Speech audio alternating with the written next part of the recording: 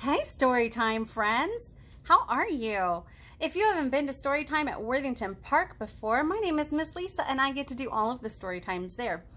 Today, we are going to be talking about the season that we're in. Do you remember when we talked about spring? And we were talking about the season of spring and the things that we might see and smell and taste and hear and that we might feel. Yeah, what do you what are some things that you know about summer? We're into summer now. Summer comes after spring in Ohio, and we are into I feel hot a lot of the time. The temperature is hot now, isn't it, outside? Yeah. What are some things you might hear? You might hear birds making noise. You still might hear people mowing their lawns like we talked about in spring. You might hear kids playing outside on swing sets or running around in the sprinkler. You might hear some of those sounds. Let's see, what's something you might taste in the summer?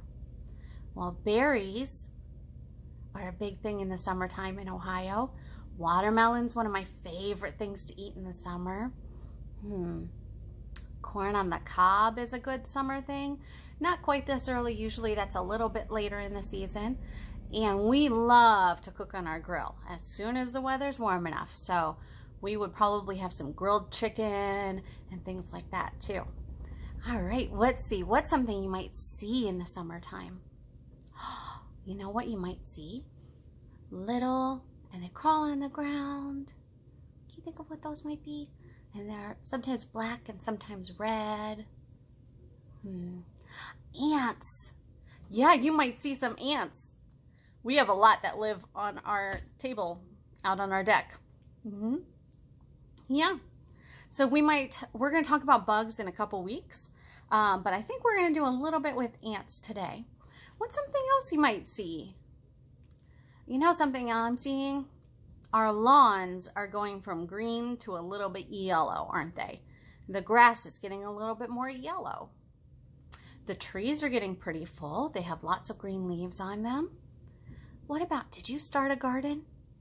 Is anything happening with your garden plants? Our green bean plants are really growing. They're getting so big. And our tomato plants are starting to get some starts for tomatoes. And our sugar snap peas are still giving us a couple of sugar snap peas. So you might have some fun things that you're seeing and some things that you get to taste out of your garden. I would love to hear what you see and smell. Oh, we didn't talk about smell, did we? You might smell a pool. You might smell a little stinky when you come inside after playing a long time in the heat.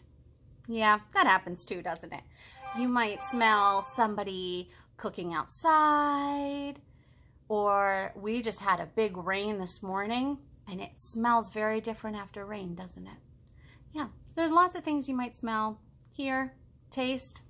I want to hear what you're thinking about. Let me know. Okay, so we are into summer. Summer is usually the hottest of our seasons, and it always comes after spring, and then it comes before fall.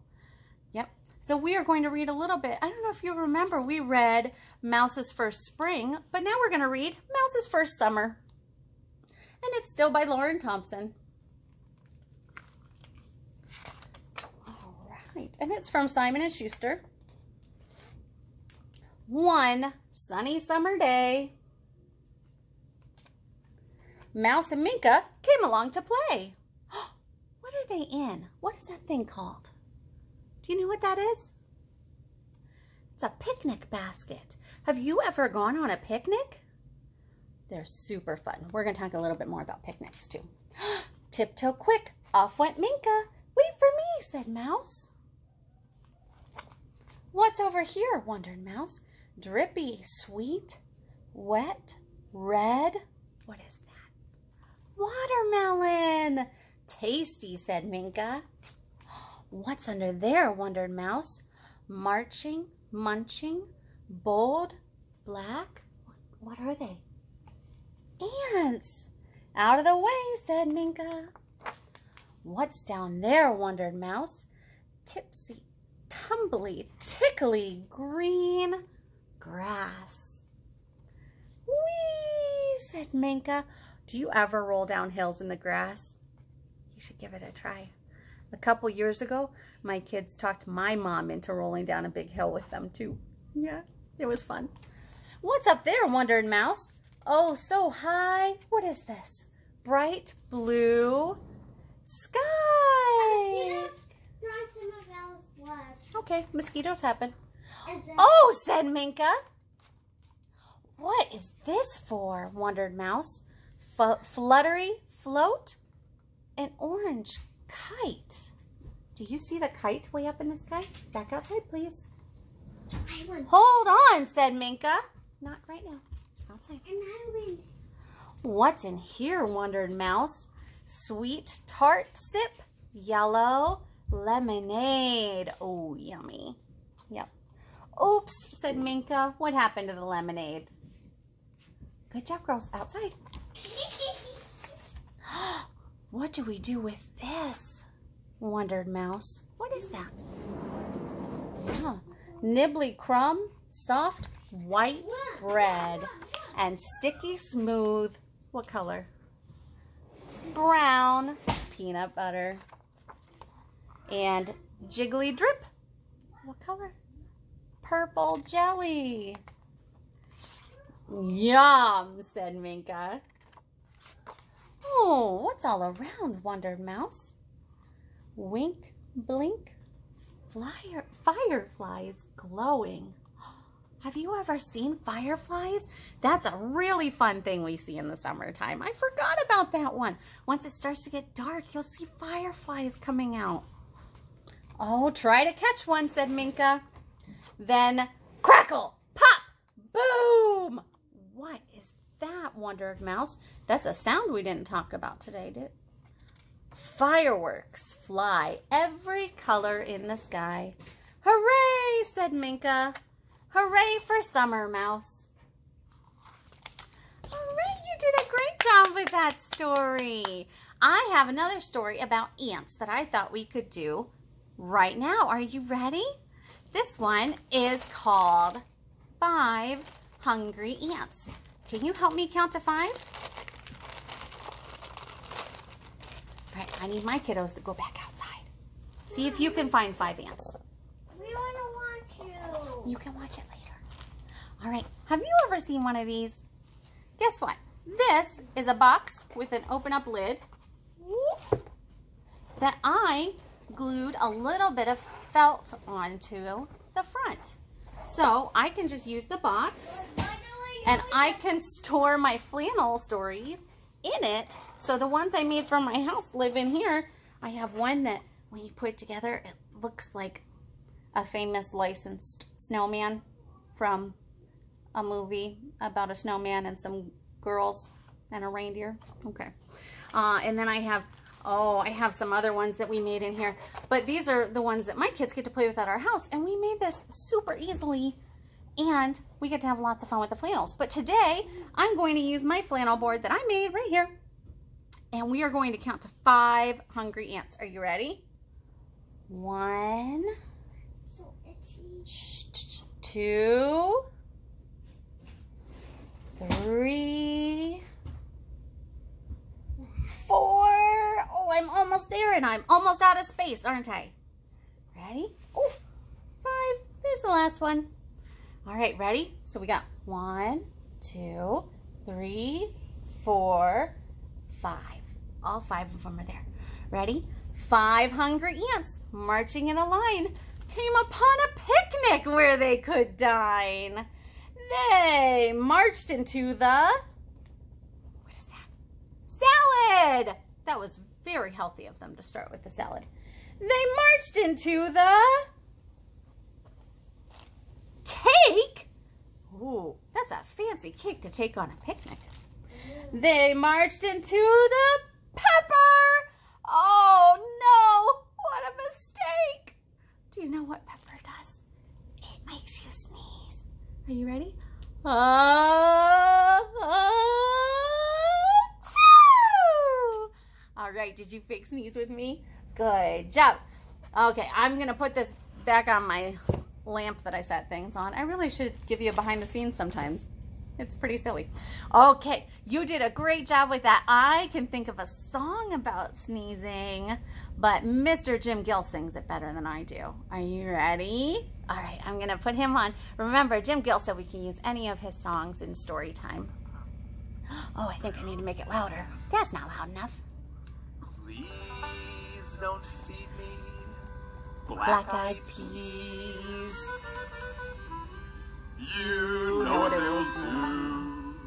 Low for me. Or if you ah, feed me ah, black-eyed ah. peas. Ready? We're gonna fake sneeze in just a second. Have to sneeze. Oh, here it comes. Oh. Ah. Because peas rhymes with sneeze, doesn't it? Oh, ready? don't, feed me macaroni and cheese. You know what it will do. Ready? What's it gonna do? Or If you feed me macaroni and cheese. Oh no, here we go. Have to sneeze. Ah, ah, ah, achoo. Good job. Oh yeah, one more. This one's my favorite. Chocolate chip Chocolate chip cookies. You know what it will. Ready? For If you feed me chocolate chip cookies. Oh no, what's gonna happen? I'll Have to sneeze. Are you ready? Uh,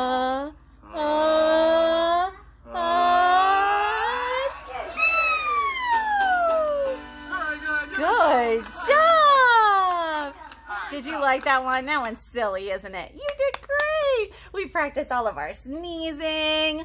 I know. Remember, when we sneeze, we're sneezing into our elbow because our elbow doesn't ever open the doors or shake hands with people. All right. Sorry, I have an audience in here and it's throwing me off. I always think when I do the sneezing song, this is probably what the thumbnail's going to be. So I'm going to be frozen like this. Probably, huh?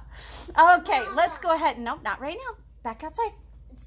We're going to read another story. And this one is about something you might do in the summer. It's about a swimming pool. Do you have a little swimming pool in your backyard? All right. Hey, girls, you could stay in here, but you have to be super quiet, okay? Okay. Ready? Oh, we have a swimming pool in our backyard. We've gotten lots of use out of it this year. Ready? This one? Oh, I love this one. It's such a fun summer book. The Whale in My Swimming Pool. And it's by Joyce Wan.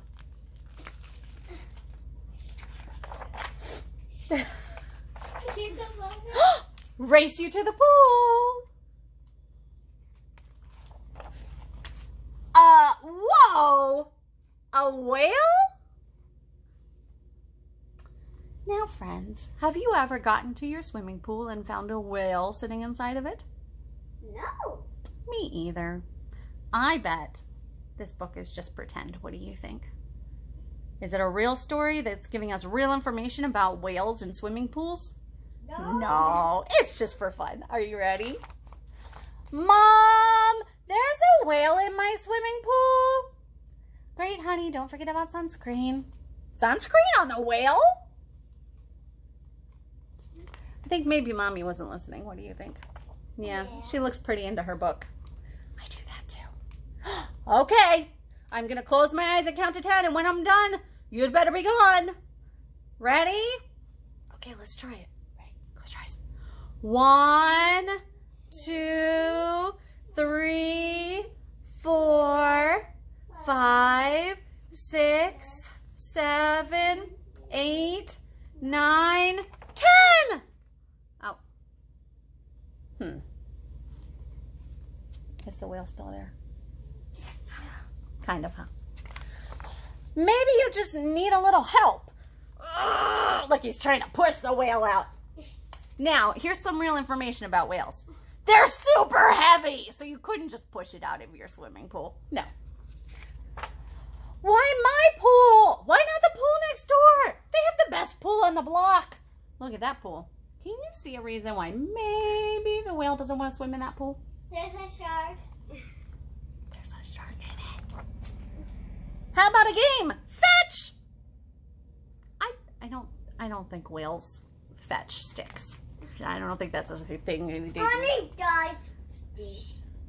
Oh, here, fishy, fishy. Oh, he's trying the old carrot on a stick method. See if he can get the whale to move that way. Wouldn't you rather swim with other whales?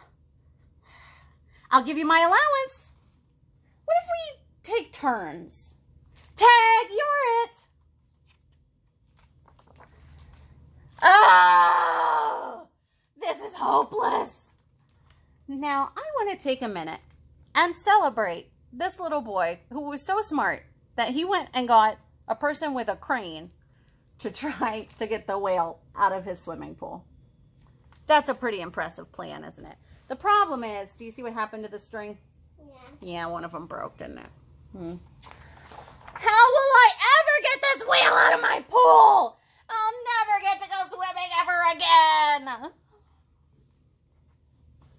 I give up. What's he feeling? He looks like he's feeling frustrated to me. What do he you just think? wanted the wheel just wanted Yeah. the water and it accidentally fell fell forward. Wait a minute. I have an idea. Wait here. I'll be right back.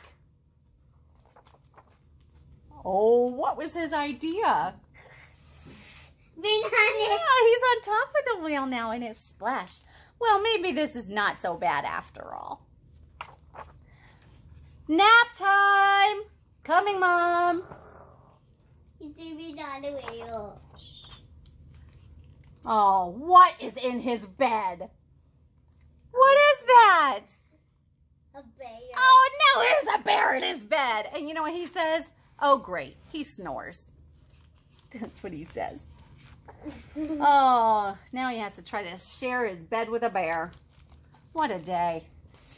All right. You did a really good job with that silly story. Do you know a song about goldfish? Goldfish? Do you know a song about goldfish? We're going to sing a song about goldfish. Are you ready? First, we're going to go to sleep. Ready? Lots of little fish were sleeping on a rock in the bottom of the ocean. They lifted up their heads and they shook out their tails. You can stand up and do it. It's better that way. Ready? And they said, Let's go swimming, let's go swimming, let's go swimming.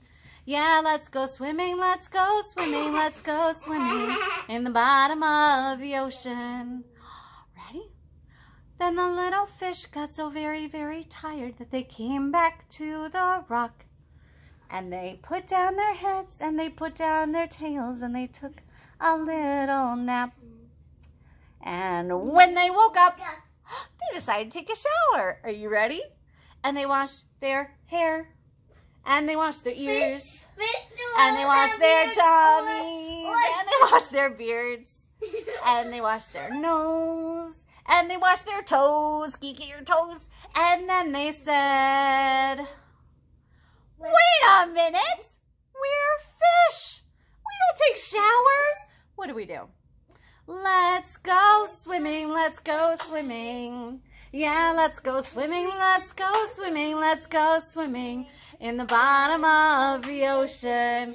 You did so great with that. If you want to do the whole rest of the song, that's a Laurie Berkner song called the Goldfish Song. It's not called Let's Go Swimming. It sounds like it should be called Let's Go Swimming, doesn't it? I agree. But if you look on YouTube, you should be able to find Laurie Berkner's version. All right, I'm going to pause for just a second and kick some beautiful children back outside. No! Yep. All right, thanks for waiting, friends. Let's go ahead and do our next story. Oh man, it's a good one. You know what?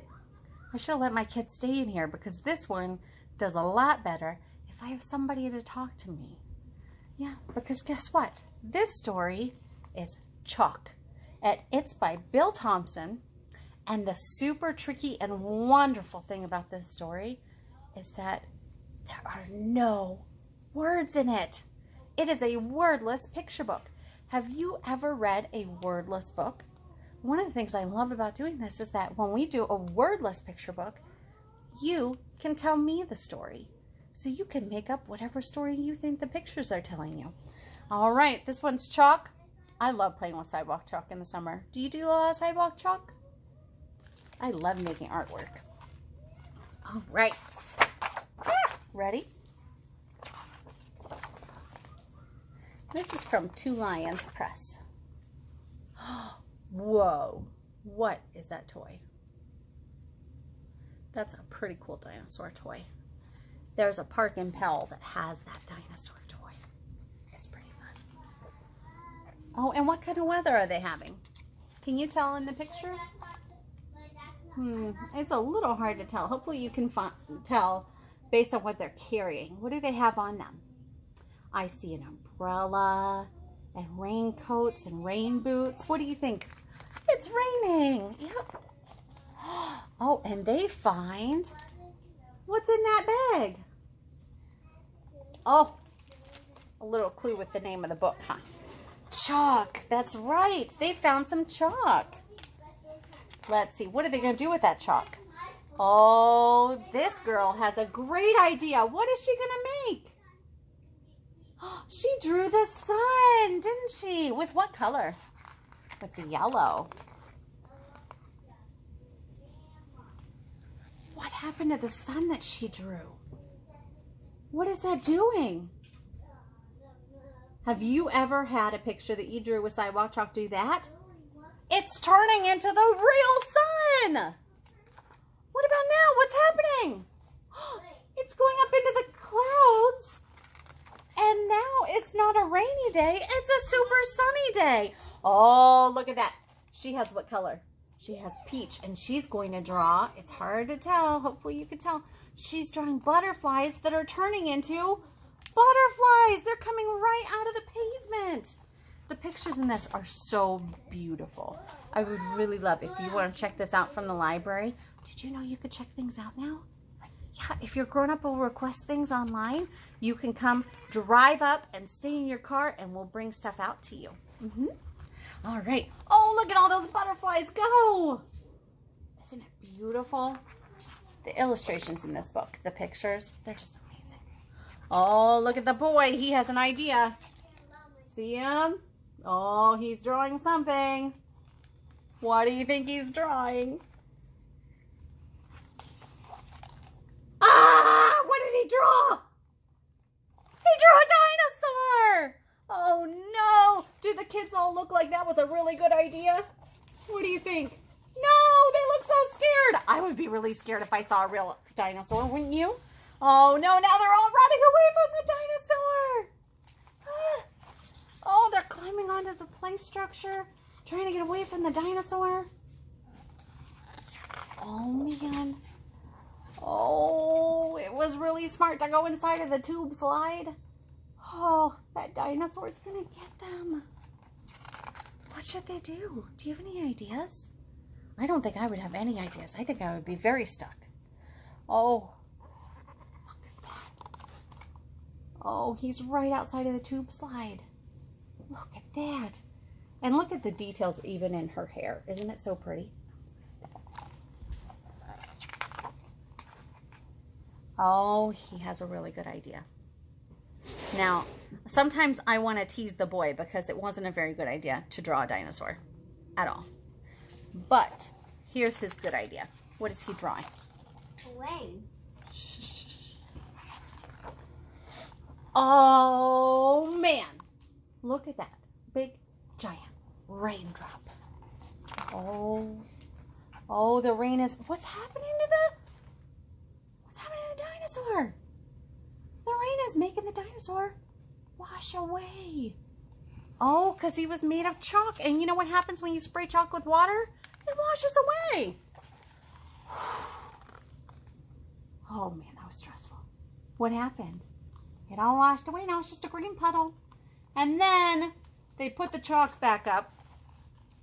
I don't know if your grown-ups remember the movie Jumanji, but I think they're unleashing a Jumanji type situation here by putting the chalk back up. And then they walk away in the rain. All right. You did a fantastic job with that story. I love the illustrations. So I don't know if I express this enough, but you really should check this book out or give it a try at home so you can see the pictures up close because they are just beautiful. I had a couple other books I thought you might like checking out at home um, from the library if you can. If you still aren't getting books from the library yet, you can look into getting any of these books. Um, let's see, I have a couple about summer. I had a hard time narrowing it down this week. So this one's called Summer, all the way over there. It is. And it's a story that kind of goes all around the world. So you might really enjoy that one. The next one is Mama Is It Summer Yet? And it has these beautiful retro feeling illustrations um, that you might really like. Let's give it a try. The next one is called This Beach is Loud. And guess what? I love this book. It's part of a series, and the series is all geared toward friends who might be on the autism spectrum. So this one, they're all by Samantha Cotterill, and it's in the Little Senses is the name of the series.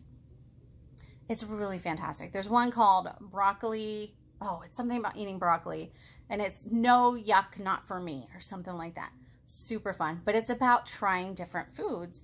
And this one is about when some place is too loud and it's a little bit overwhelming. So they're very sensitive books. They're beautifully done. Uh, the next one that I wanted to remind you about that you probably know is the Little Mouse, the Red Ripe Strawberry, and the Big Hungry Bear. I love that one. I thought about doing that one too. It's by Don, Don and Audrey Wood. And then, oh, should I share my ice cream is always a fun read from Elephant and Piggie. And then the last book that I have over there, oh, I'm probably too much in the way. Um, we read a few weeks ago. That's the only reason we didn't read it today. But Jabari Jumps. Um, if you remember, that's the story of the little boy who was maybe a little bit scared to jump off the, the diving board. And he and his daddy worked together until he felt brave enough to do it. Do you remember that one? Oh, I love that story. That's a fantastic read for summertime too. So those are some of my recommendations. I couldn't narrow it down. I had a really hard time today, but I didn't want to make it a super, super, super long story time. I had some ideas for things that you can try at home. One of the things I was thinking is that if you wanted to try to make your own flannel board, like I said, you just need to cut out or you need to find a good box. So if you order pizza and the pizza is not super greasy and you can take out the inserts so that there's not grease inside, that's a good type of box to use. This one I think was like a steak box or something like that. But you can glue the felt on the top of it so that when you lift up, you can store any flannels that you make inside of there. And you can find lots of patterns online for flannels. Um, grown-ups, they're fantastic ways to work on storytelling, but they're also really good ways to work on shapes, um, counting, things like that. So I want to make sure I told you about it. Let's see.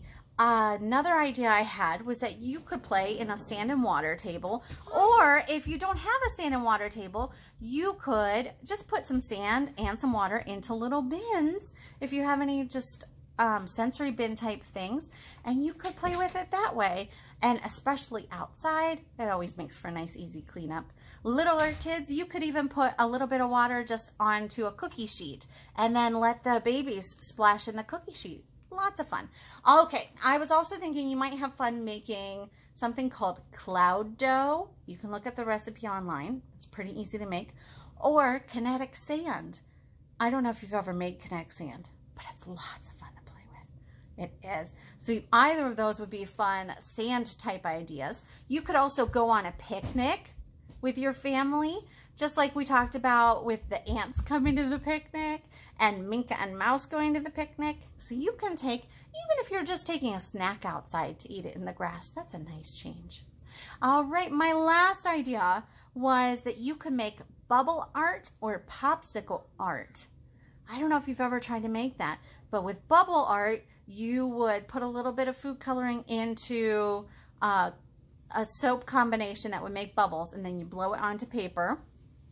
Or for popsicle art, you could freeze some food coloring and water into popsicle containers or ice cube trays or anything like that. with some popsicle sticks in it. And then you can paint with the popsicles. You could use real popsicles, but it might be a little bit stickier and that's a waste of a perfectly good popsicle.